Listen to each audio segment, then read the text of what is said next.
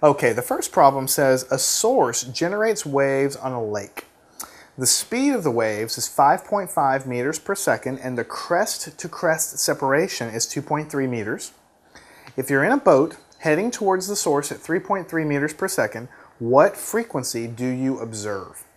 What frequency do you observe? So that's basically a Doppler shift problem. You have a source sending out waves at, at a certain uh, speed, uh, and I'm racing toward the source in a boat, and of course I'm not going to see the, the, uh, the frequency coming out of the source because I'm crossing those crests and troughs faster than I otherwise would, which means I'm going to see uh, in this case, a higher frequency because I'm racing toward the source. I'm going to see more oscillations per second coming through me as I'm cutting across those things faster. And so I'm going to see a higher frequency.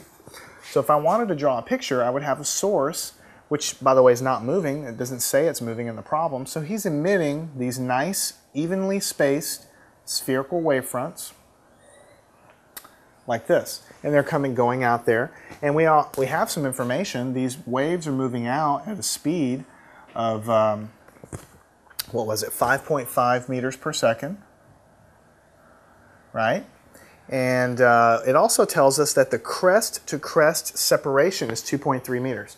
That is code for you to realize as you read this that that's giving you the wavelength, right? The wavelength. Crest to crest separation. Think about it. Crest to crest. That's one wavelength separation. So that's telling you that the distance basically between here and here is one wavelength, and that's 2.3 meters. So we'll see how we use that in a second. And then finally, I'm in a boat. I'm in a high-speed power boat or something, and I'm driving towards the uh, guy. So the detector, which is me in the boat, is traveling at 3.3 meters per second, going towards the source. So of course I'm going to see a higher frequency, and that's what we know we're going to need to, to do here.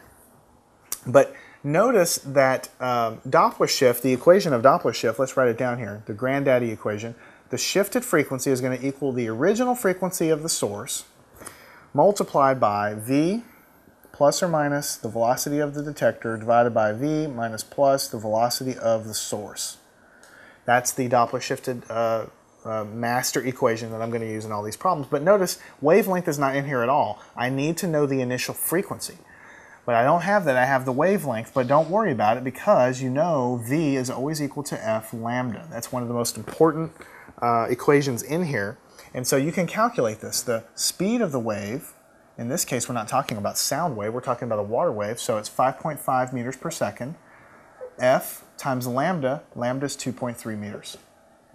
So the frequency as you divide 5.5 divided by this uh, is going to give you 2.4 hertz. So that's the native frequency. That is what goes in here. So let's do that. Uh, let's go ahead and put that here, 2.4 hertz. So 2.4 goes out in front. Now, one more thing let's do. Notice that the detector is moving, but the source is not. So really, it's going to be velocity of the detector is here, and you'll have v on the bottom, the speed of the waves, but v sub s, the velocity of the source, is zero, so you can just drop it out. You see, this is the equation that we had like in, in one of those other cases, but you don't have to memorize it. You just stick a zero in there, and you're good to go. All right, now let's plug in our numbers and see what the answer is going to be. The shifted frequency is 2.4 times. The speed, v, is the speed of the wave, 5.5. I'm not going to do minus or plus yet. I'm going to do that later. Velocity of the detector is 3.3 meters per second. And on the bottom, it's just the speed of the wave, which is again 5.5. Now, after I've got all the numbers here, I need to choose plus or minus. Now, the boat is racing toward the source. We already said that should produce a higher frequency. So I need a higher frequency here. The only way I can do that by choosing minus plus is to put a plus here. That's going to raise the, the numerator, raise the value of this fraction, increase my frequency. So now it's just calculator, right? 2.4 times this, 5.5 uh, plus this divided by this is going to give you 1.6. So the Doppler shifted frequency is going to be 3.8 hertz, right? And you, have, you always should do a sanity check with these problems. Does it make sense? 3.8 is indeed higher than the initial frequency of the source that's actually coming out, which is 2.4. So if I'm racing in a boat uh, toward the source, I'm going to actually see the wave crest and troughs passing me in such a way that I see 3.3 cycles per second. These waves are going to seemingly pass me faster, and so I'm going to have a seemingly higher frequency because of that happening than it was actually coming out of the source.